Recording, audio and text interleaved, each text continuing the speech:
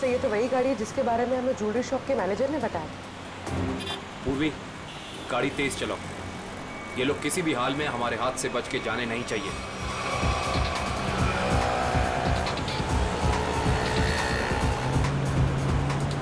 जिगर ये देख तो अपना कोई पीछा कर रहा है बहुत देर से यार। सीआईडी ये कहाँ से आ गए गाड़ी भगा।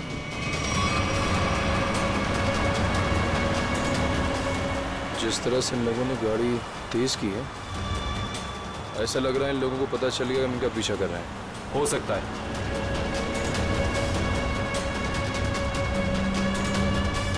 जल्दी कर जल्दी कर।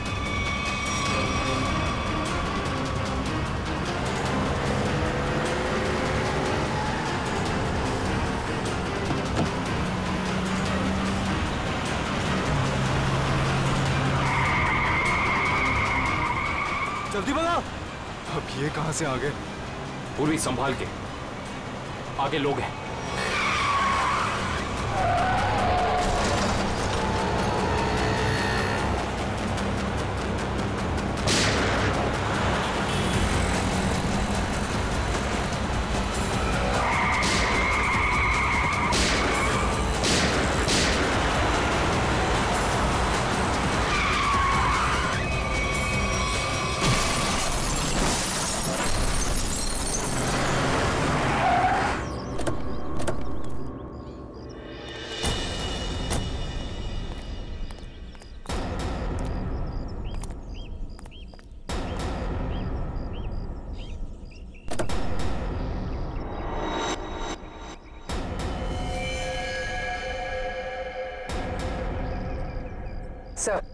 ही dead.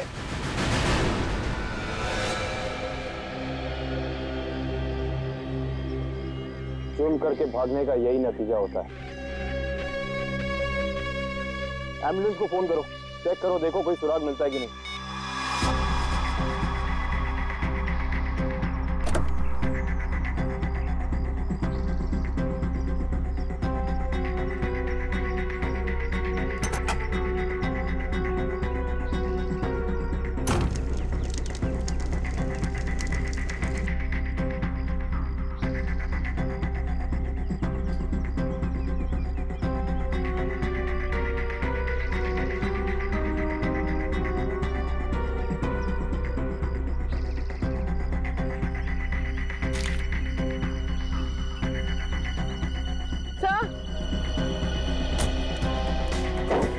बैग और ये दो मास्क है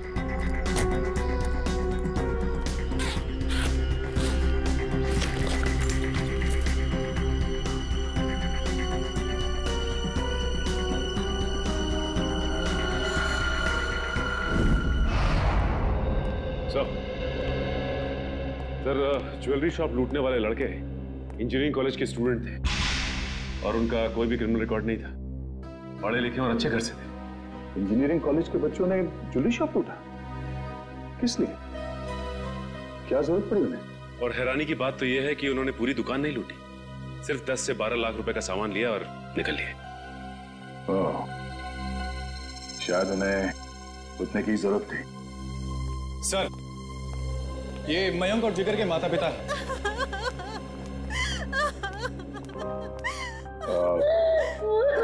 माफ़ कीजिए ऐसे समय पे आप लोगों को यहाँ पे बुलाना पड़ा। हम आपके बच्चों के बारे में कुछ पूछना चाहते हैं। सर प्लीज़ मेरे मयंक को मुझे वापस दे दीजिए। हमारा एक ही बच्चा है।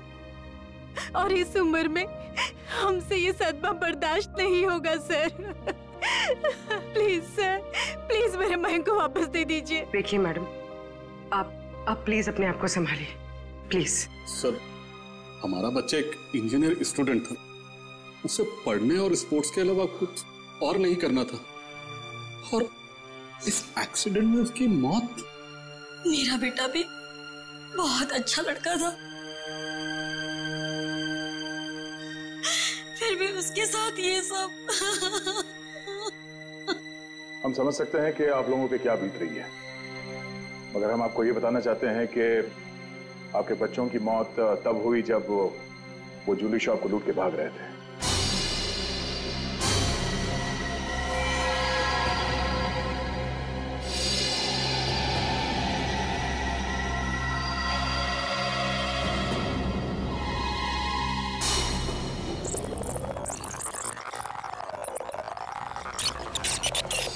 अरे अरे कौन हो तुम लोग? ये ये, ये बहुत गलत कर रहे हो तुम लोग। जल्दी मार जल्दी है ना जल्दी मार नहीं तो मार दूँगा। मैनेजर है तू। हाँ चल जल्दी खोल। अरे ये बहुत गलत कर रहे हो तुम लोग। निकाल रहा हूँ। जल्दी खोल। जल्दी कर। सारे पैसे निकाल सारे पैसे निकाल। दे पकड़ा हाथ में पकड़ा। जल्दी कर। खोपड़ी में ऑन कर दूँगा। ज़्यादा हिलेगा ना तो ठोक दूँगा। जल्दी जल्दी। ए ए ए चल चल चल चल जल्दी जल्दी। ठोक दूँगा ज़्यादा चलाकी कोई नहीं। रहेगा कोई नहीं। रहेगा चल निकल निकल जल्दी निकल। कोई हिलेगा तो मार दूँगा।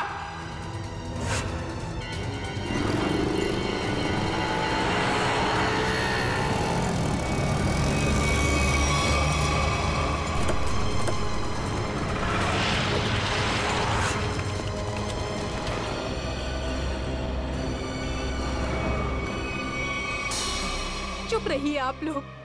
आप लोग कुछ भी इल्ज़ाम लगा देंगे और हम मान लेंगे। हमारे बच्चों का एक्सीडेंट हुआ है और आप आप उन पर इल्ज़ाम लगा रहे हैं। हर माँ बाप अपने बच्चों को अच्छा ही समझते हैं। लेकिन वो बाहर क्या करते हैं वो खुद जानते हैं। सच को मानना पड़ेगा। लोगों ने देखा है गवाह है सबूत है। सर बहुत छोटी रकम है।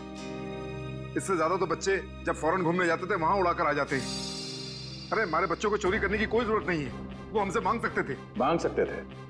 लेकिन जिस गलती को छुपाने के लिए उन लोगों ने ये चोरी की शायद उसका कारण आप लोगों को बताना नहीं चाहते हो। देखिए मेरा बेटा जिगर बहुत अच्छा लड़का था। ज़रूर उसको किसी ने उकसाया होगा वो ऐसा कभी नहीं कर सकता। देखिए मैडम सच्चाई तो यही है कि अपराध हुआ है। मयंक और जिगर ने ज्वेलरी शॉप को लूटा है। अब हमें ये देखना है कि उन्हें इस पैसे की ज़रूरत क्यों थी। किसको देना था? हा?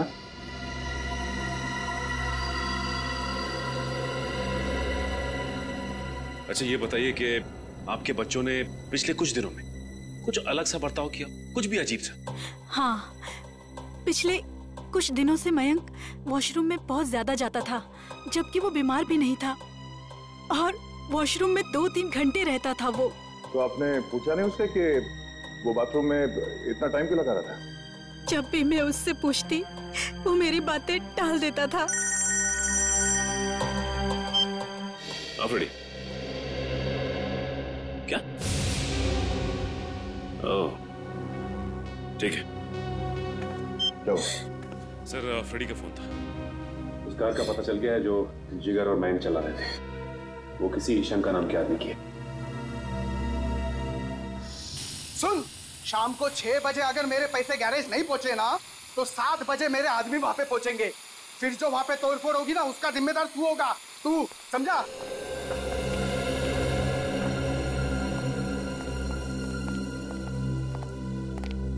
हम लोग सीआईडी से ये शंकर कहाँ है? शंकर?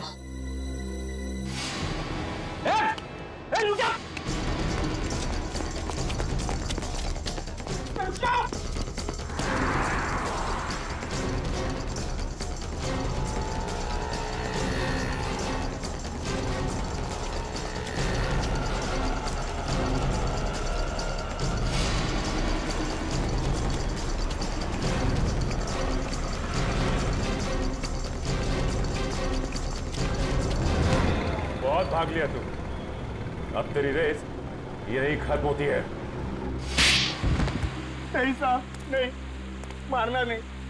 सच बताता हूँ सब सब बताता हूँ आँखें खोल के देख। ये मयंक और जिगर है। इन दोनों को दी थी ना कार तुमने? दुकान लूटने के लिए? हाँ साहब यही दोनों गाड़ी लेके गए थे। पर माँ कसम साहब मुझे नहीं पता था कि ये दुकान लूटने के लिए मुझसे गाड़ी लेके जा रहे हैं। मुझे तो बोला भाड़े पे गाड़ी चाहिए गोवा जाना है। दे दिया। और सब अपना तो धंधा ही है भाड़े पे गाड़ी देना। चुराई हुई। लेकिन सब पुरानी गाड़ी खरीदना और बेचना। ये चोरी की गाड़ियों का धंधा करता है और तुम लोग इसका साथ देते हो? सर हमें कुछ नहीं पता। हम तो बस अपनी मजदूरी के पैसे लेते हैं। और कुछ नहीं सर। हाँ सर। ये सच कह रहा है। सर सर हम इस बारे में कुछ नहीं जानते। ठीक है। पंच इससे इसकी सारी डिटेल ले लो। बाकी का पता तो हम लगा ही लेंगे।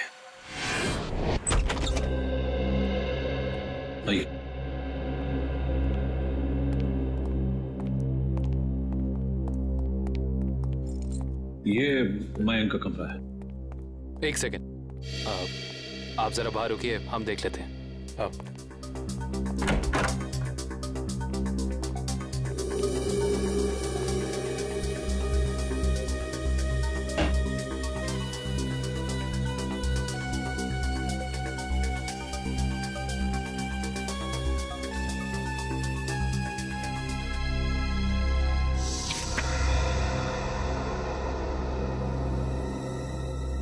पैम्पलेट्स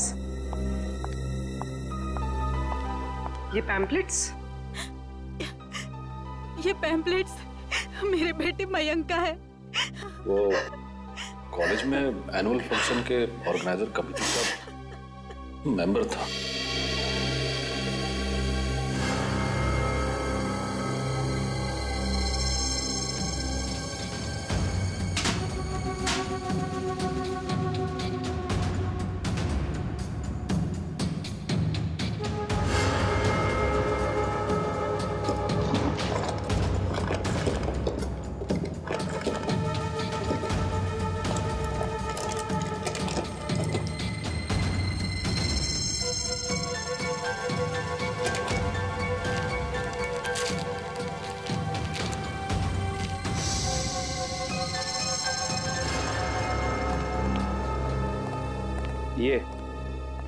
चीज़ों को पहचानती हैं आप? ये आपको कहाँ से मिली? ये तो ज्वेलरी मेरी है। फ्लश टैंक के अंदर से। ये फ्लश टैंक में कैसे पहुँची? पहुँची नहीं। छिपाई गई थी। छिपाई गई थी? पर किसने? मयंक के बाथरूम में मयंक के अलावा और कौन छिपा सकता है? भगवान।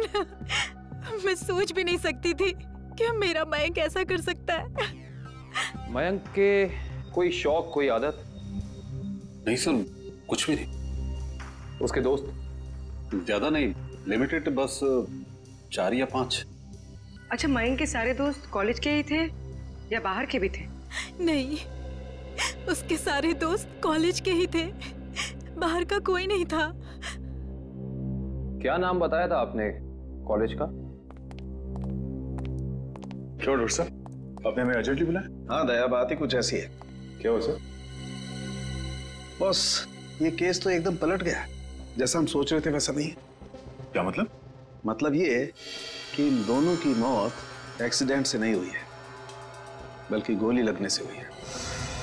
क्या? मगर सर इनकी मौत तो हमारी आँखों के सामने हुआ है एक्सीडेंट से। हाँ लेकिन इनकी मौत एक्सीडेंट से पहले ही हो चुकी थी। ये देखिए।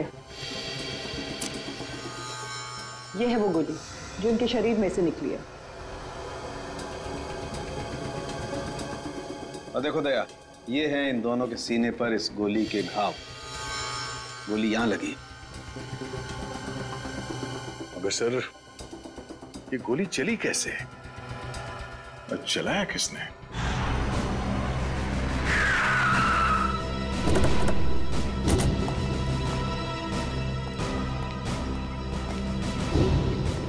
सर, हमारी गाड़ी उनकी गाड़ी के ठीक पीछे। थी उनकी गाड़ी का बैलेंस बिगड़ा, स्टीयरिंग पर से कंट्रोल छूटा, और गाड़ी इस दीवार से आके टकरा।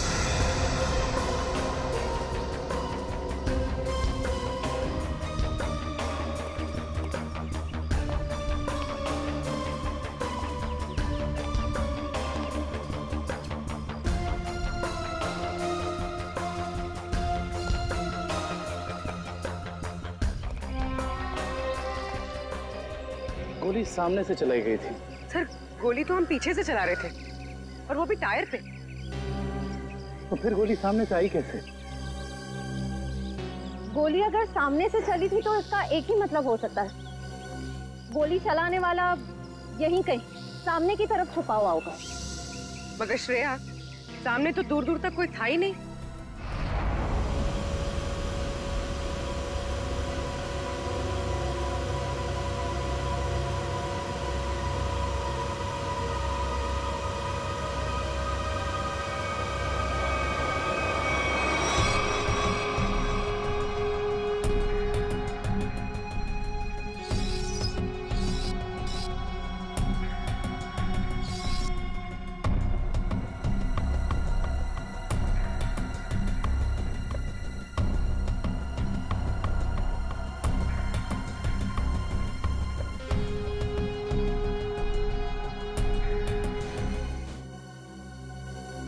साहब।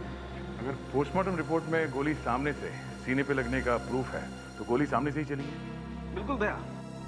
गोली सामने से ही चली है और गोली बिल्कुल सीधी लगी है बहुत करीब से क्योंकि घाव बताते हैं कि बहुत करीब से गोली लगी है।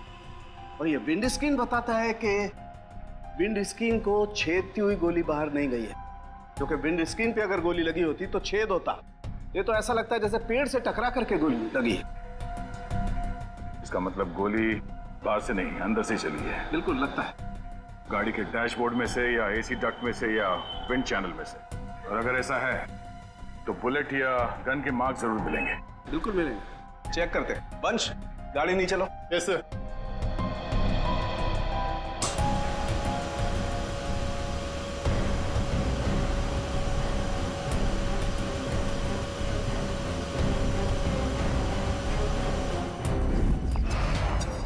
अश्विन क्या यार? बोला था ना कि सारे पोस्टर्स और बैनर लग जाने चाहिए। अभी तक नहीं हुआ। हो रहा है यार। एक ही तो लैडर है। कर लेंगे टेंशन मत ले। तुम एक काम करो वो स्टेज पर जाकर देखो वहाँ का पूरा अरेंजमेंट हुआ है कि नहीं। अगर नहीं हुआ तो तुम माया से कहना वो तुम्हें अरेंज कर देगी ओके? ठीक है मैं बोल देती हूँ। एक्सक्यूज मी यस सर ये मयंक और जिगर किधर मिलेंगे? वो तो आपको वरुण ही बता सकता है। वो रहा। Thank you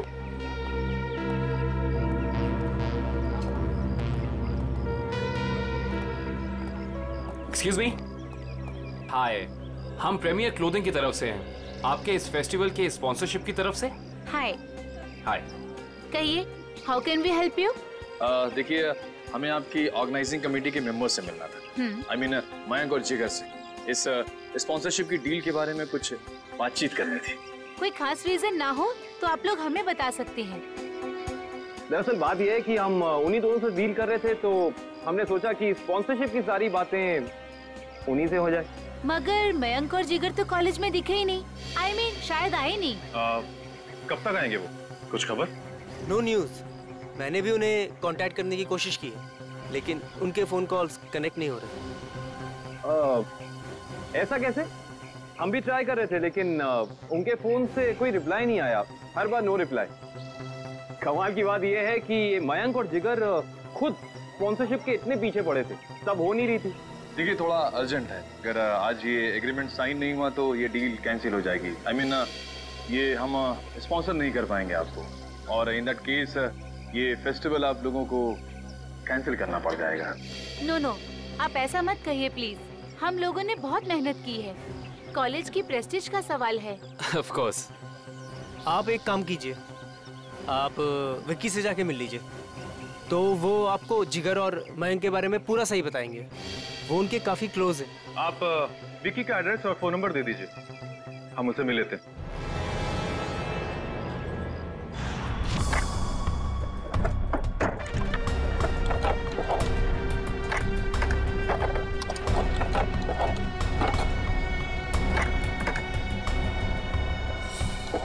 मयंक और जिगर को जो गोलियाँ लगी है ना वो बहुत छोटी है।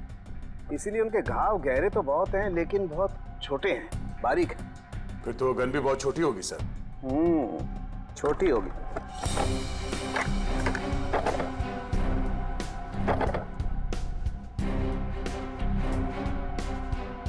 नहीं सर। यहाँ तो कुछ नहीं है।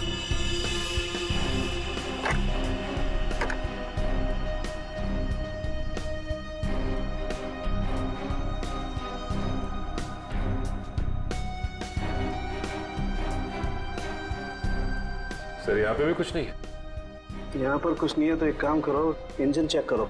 उसमें भी फिट किया जा सकता कुछ। सलूँगे साहब ये तार यहाँ अलग से लटक रहा है। किसी फिटिंग के साथ इसका कोई कनेक्शन नहीं है। ये तार जा कहाँ रहा है दया? सर इसका एक सिरा तो यहाँ एक्सलेटर से कनेक्टेड है। और ये दूसरा सिरा ये तो साइड व्यू मिरर की तरफ़ जा रहे हैं सर साइड मिरर की तरफ़ जा रहे हैं दया तो फिर साइड मिरर चेक करना पड़ेंगे दोनों।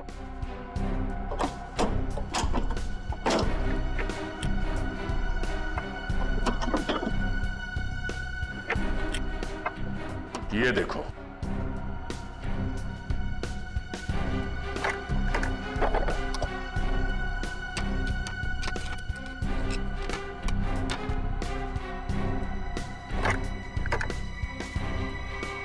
गन यहाँ है।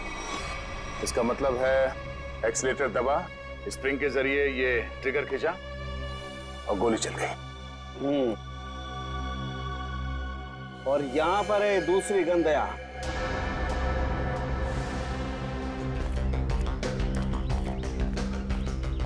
विकी। हाँ विक्की आप लोग? सीआईडी सीआईडी क्यों? घबराए हो क्यों लग रहे हो? अरे नेचुरल है। किसी शरीफ आदमी के घर में सीआईडी आएगी तो बंदा घबराएगा ही। अगर आदमी शरीफ हो तो उसे घबराने की ज़रूरत नहीं। बताइए क्या काम है? हमें आपके दोस्तों के बारे में कुछ इन्फॉर्मेशन चाहिए थी। कौन से दोस्त? मयंक और जिगर।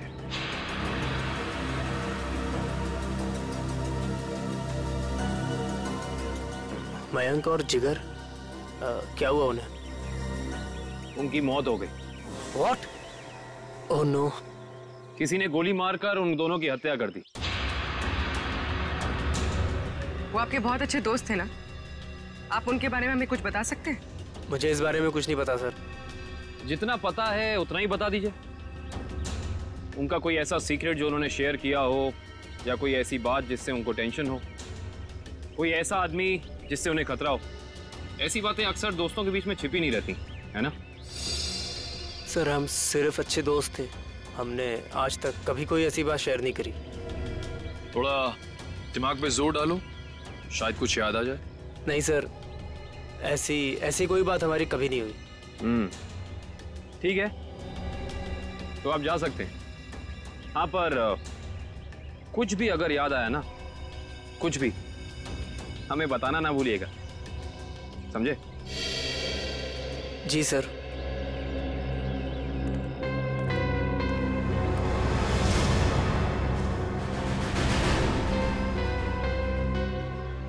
लेकिन सर जब ये गाड़ी स्टार्ट हुआ तो उसने एक्सीलेटर तो दबाया होगा। तो जब पहली बार एक्सीलेटर दबाया तब ये ट्रिगर दब जाना चाहिए था मगर ऐसा तो नहीं हुआ। हम्म ऐसा नहीं हुआ। और वो क्यों नहीं हुआ मैं बताता हूँ तुम्हें। ये देखो ये तार इस एक्सीलेटर से कुछ इस तरीके से बांधा गया है कि जब एक्सीलेटर दबे ये तार इस मोटर से एक राउंड लिपट जाए। और जब जब एक्सीलेटर दबता था ये तार इस मोटर से लिपटता चला जाता था। और एक मौका ऐसा आया ये तार कस गया ट्रिगर दब गया और गोली चल गई। और ये काम किसी बहुत ही इंटेलिजेंट आदमी का है। कौन हो सकता है वो?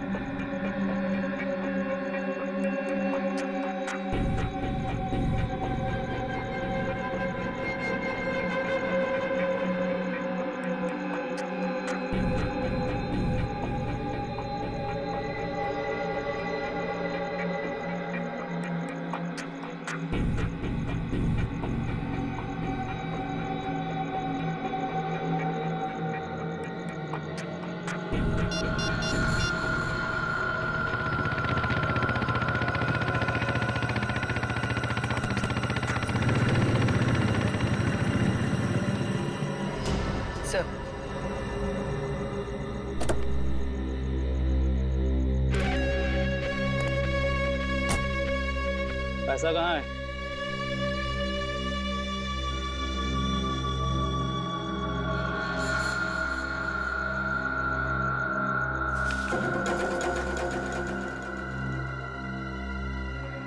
अब मैं तुमसे कभी नहीं मिलूँगा। ये याद मत रखना कि हम कभी मिले थे। ठीक है। लेकिन क्या बात है इतना घबराए हो क्यों? ये सब तुम्हारी वजह से हो रहा है। मयंक और जिगर का कुछ पता नहीं लग रहा और आज सीआईडी मेरे घर तक पहुँच गई।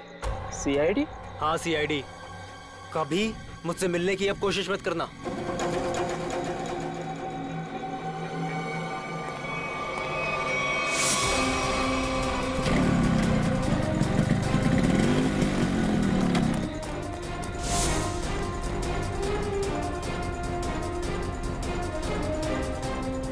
कौन हो तुम लोग? सीआईडी अब बताओ। मयंक और जिगर के साथ तुम दोनों का क्या रिश्ता है? और तुम दोनों ने उनका खून क्यों किया? खून हो गया? मयंक और जिगर का? कैसे? ये तो अब तुम दोनों बताओगे। बोलो। सर मुझे कुछ नहीं पता सर। सर इसके बहुत अक्का से पूछो उसको सब मालूम होगा सर।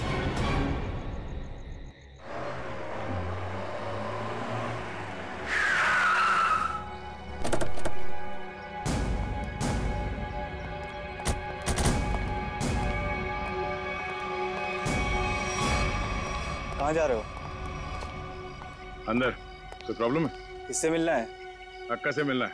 क्यों? उनसे कहो कि सीआईडी आई है उनसे मिलने। जाओ।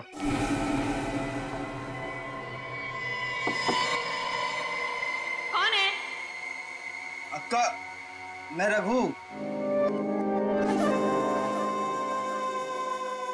बोला था ना डिस्टर्ब नहीं करना। क्या काम है? अक्का वो सीआईडी वाले आए हैं। उनको। बोल, मैं आती हूँ। चौबीस घंटे हैं तेरे पास। वरना तेरी फैमिली तुझसे मिलने यहाँ नहीं। शमशान घाट जाएगी।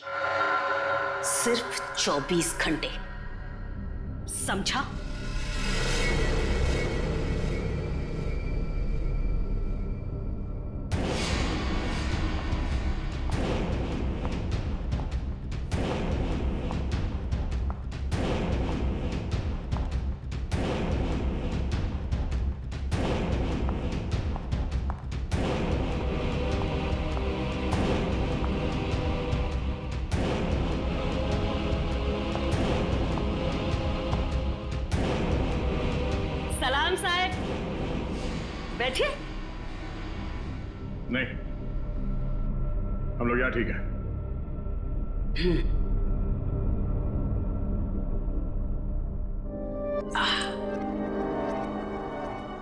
बोलो साहब क्या काम है?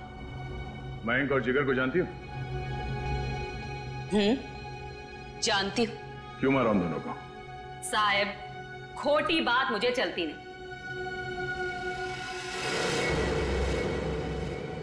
मैंने नहीं मारा उन दोनों को।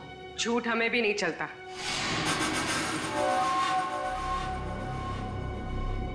छोकरी। तीखी जबान है तेरी। इस आप समझाओ ना इसे। अक्का मीठा सुनना और बोलना। दोनों पसंद करती है। तो फिर सर जो पूछ रहे हैं ना उसका जवाब दो। जिगर और मैं को क्यों मारा? बोला ना मैंने नहीं मारा। मारा मारी मुझे पसंद नहीं।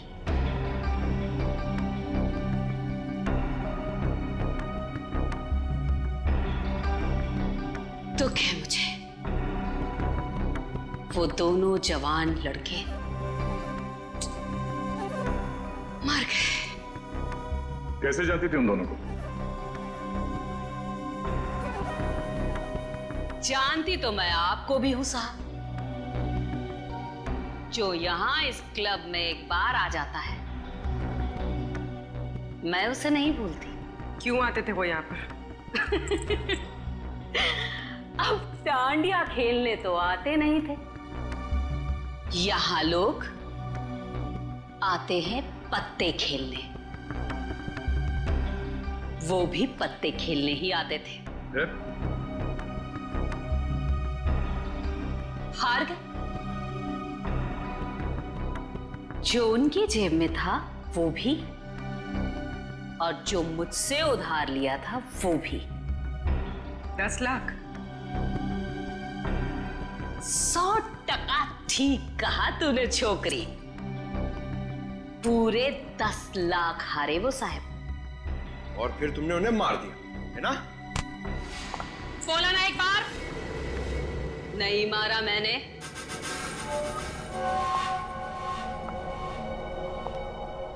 बिज़नेस करते हैं हम साहेब। मारा मारी का धंधा नहीं। मुझे मेरे पैसे चाहिए थे। उनकी जान नहीं। सारा पैसा डूब गया मेरा फिर किसने मारा उन दोनों को? एक लड़का आता था साहब। उन दोनों का पीछा करते हुए। कौन था वो?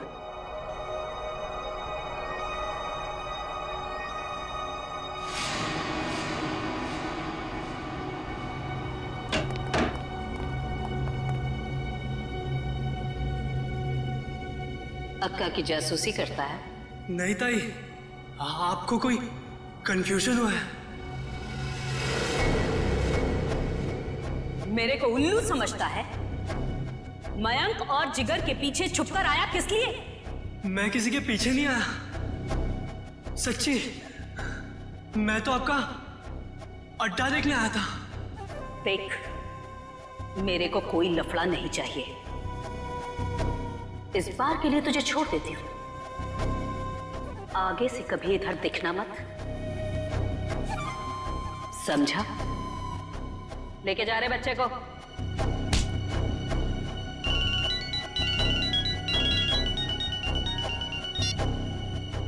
हाँ बोल रहे। उसका स्केच बनवा सकती हो हमारे लिए? टाइम नहीं है मेरे पास। टाइम नहीं है? गैर कानूनी जुए का अड्डा चलाती हो तुम यहाँ पे हैं? अगर उस धंधे पे बड़ा सा ताला लग जाए तो फिर तो तुम्हारे पास टाइम ही टाइम होगा। कैसी बातें करते हैं आप साहब? अब क्या इतना सा मज़ाक नहीं कर सकते आपके साथ? आपकी मदद करने के लिए तैयार है। इसके लिए तुम्हें हमारे साथ ब्यूरो चलना होगा। हाँ तो चलेंगे ना साहब? रघु संभालना पीछे से सब। मैं जरा ब्यूरो की हवा खा के आती हूँ।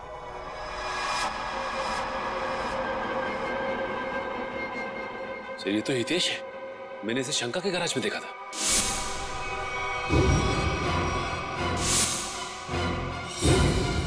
आपको पूरा यकीन है कि यही था वो? अक्का एक बार जो किसी का चेहरा देख लेती है ना साहिब तो फिर भूलती नहीं पक्का यही था। तो फिर देर किस बात की? उठा लो से।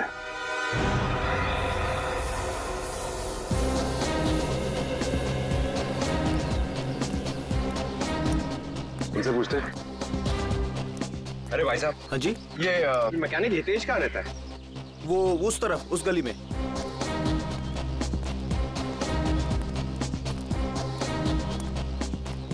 अरे भाई साहब ये हितेश का घर कौन सा है? हाँ सामने वो रहा।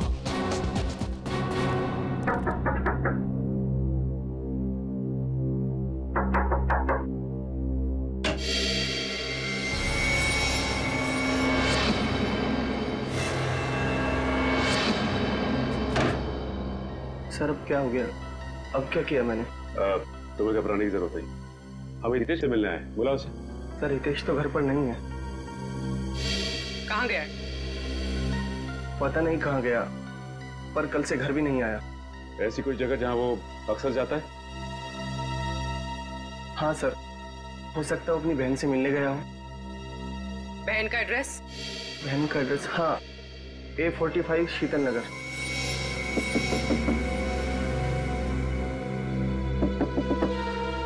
Hitesh दरवाज़ा खोलो हितेश। हितेश दरवाज़ा खोलो। हमें पता है कि तुम अंदर हो। बहुत हो गया। सर कोई जवाब नहीं दे रहा है। कहीं दूसरे रास्ते से ना निकल जाए। निकल के जाएगा कहा? पंकज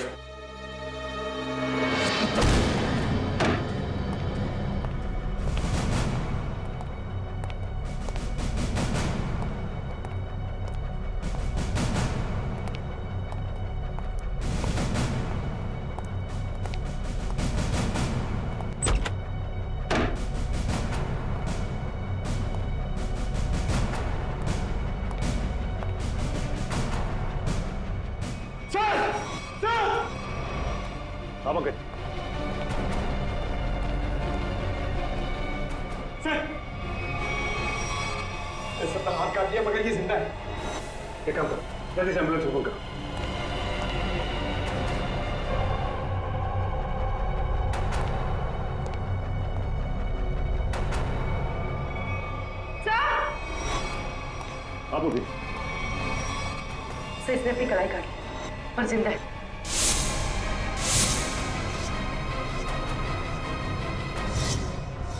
कमाल है वहाँ हितेश ने अपनी कलाई काट ली और यहाँ पे इस लड़की ने अपनी कलाई काट ली। कहीं ये लड़की हितेश की बहन किरण तो नहीं है? हो सकता है। सर एंबुलेंस आ गई और हितेश के रूम में ही सुसाइड नोट मिला है। सुसाइड नोट ये सॉरी हम दोनों ने मिलकर मयंक और जिगर को मारा है। उनकी गाड़ी में गन भी हम लोगों ने रखी थी। किरण और हितेश। सर शायद ये लोग शर्मिंदा थे और दुनिया का सामना नहीं कर पा रहे थे। इसलिए इन दोनों ने आत्महत्या करने की कोशिश की। इन दोनों ने मिलकर पहले जिगर और मयंक को मारा। उसके बाद अपने आप को मारने की कोशिश की। ये बात कुछ समझ में नहीं आ रही। है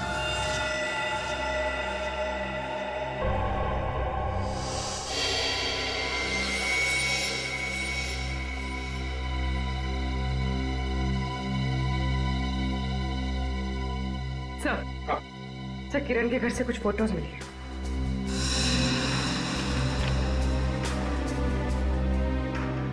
ये लड़की कौन है? हितेश और किरण के साथ? पता नहीं सर। पर कोई करीबी लगती है। तभी तो सर दो साल पुरानी ये पेपर कटिंग इसने संभाल के रखी थी। ये आर्टिकल है। इस लड़की ने भी आत्महत्या की थी? हाँ सर। और एक बात। ये लड़की जिया उसी कॉलेज में पढ़ती थी जिस कॉलेज में मयंक और जिगर पढ़ते थे। अच्छा? सर कहीं इस लड़की की आत्महत्या में मयंक और जिगर का तो हाथ नहीं? हो सकता है पंकज हो सकता है। और शायद किसी का बदला लेने के लिए हितेश और किरण ने मयांक और जिगर को मार डाला। कहाँ है वो दोनों? जिन्होंने हमारे बेटे को हमसे दूर कर दिया है? कहाँ है? देखिए आप जरा शांत हो जाइए। प्लीज़ शांत हो जाइए। देखिए अंदर उन दोनों का ऑपरेशन चल रहा है। एसीपी साहब मेरी आपसे एक रिक्वेस्ट उन दोनों को फांसी ज़रूर दिलवाइएगा। देखिए आपको पूरा न्याय मिलेगा। पूरा न्याय मिलेगा। एक ही बेटा था मेरा। उसे भी इन लोगों ने मुझसे छीन लिया। हौसला रखो। भगवान पर भरोसा है ना। दोनों कैसे हैं लड़का लड़की? जी लड़का अभी भी क्रिटिकल है। ऑब्जर्वेशन में रखना पड़ा है। और लड़की? वो ठीक है। बात कर सकेगी? अभी नहीं वो बेहोश है। कल तक उसे होश आ जाएगा। ठीक है थैंक यू वेरी मच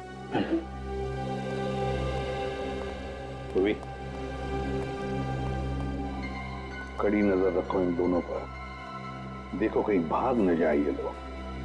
बस। कल सुबह तक का इंतज़ार है। कल सुबह तक का।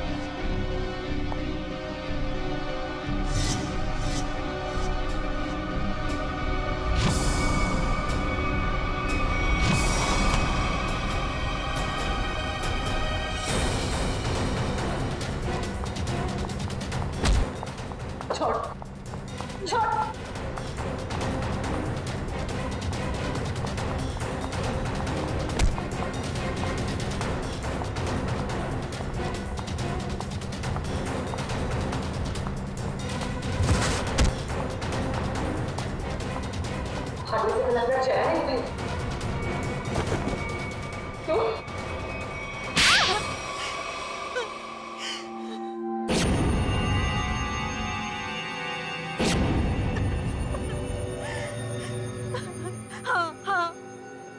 मैंने मरवाया है। मयंक और जिगर को। यार एक माँ अपने बेटे को कैसे मार सकती है हा? वो मेरा बेटा नहीं था। वो मेरा सौतेला बेटा था। सौतेला ही सही। पर बेटा ही तो था ना वो। फिर क्यों मारा उसने? पैसों के लिए। मुझे पूरी प्रॉपर्टी चाहिए थी। इसलिए मैंने उसे मरवा दिया। और किरण और हितेश को क्यों मारना चाहते थे? क्योंकि वो दोनों मेरा राज जान चुके थे। अच्छा तो वो तुम्हारा राज जान चुके थे इसलिए तुमने उन दोनों को अपने प्लान में शामिल कर और फिर उन दोनों को याद दिलाई अपने बहन के मौत का बदला लेने की। मयंक से है ना?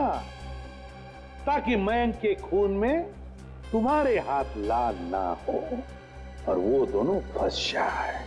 हाँ किरण ने मयंक और जिगर के साथ दोस्ती कर ली। उसे पता चला कि दोनों ज्वेलरी शॉप लूटने वाले हैं और किरण ने ही उनकी मदद की। कार का भी अरेंजमेंट किरण ने ही किया। क्योंकि किरण का भाई हितेश एक मैकेनिक था और उसने ही वो मशीन तैयार की जिससे गाड़ी में गोली चली और दोनों की मौत हो गई। फिर जिगर? जिगर को क्यों मरवाया? उसका क्या संबंध था तुम्हारे जायदाद के लेने देने से? अगर सिर्फ़ मयंक को मरवाती तो सारा इल्ज़ाम मुझ पर आ जाता। इसलिए मुझे जिगर को भी मरवाना पड़ा। वाह रे कैसी माँ हो तुम? कैसी माँ हो तुम जो जायदाद के लिए अपने बेटे का खून कर सकती है? शर्म आनी चाहिए तुम्हें। दो दो खून किए तुमने। तुम्हें तो शायद फांसी ही होगी। फांसी। For more updates, subscribe to our channel, click the show links and enjoy watching the videos.